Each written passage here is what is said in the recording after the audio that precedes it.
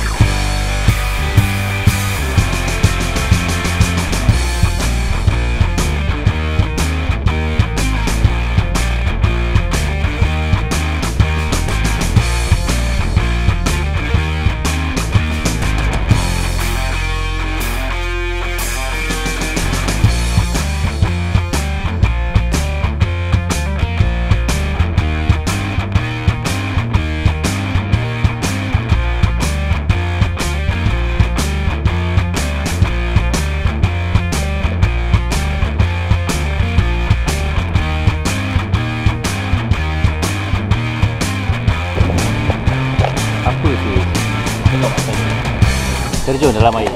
Ah, lambat, lah.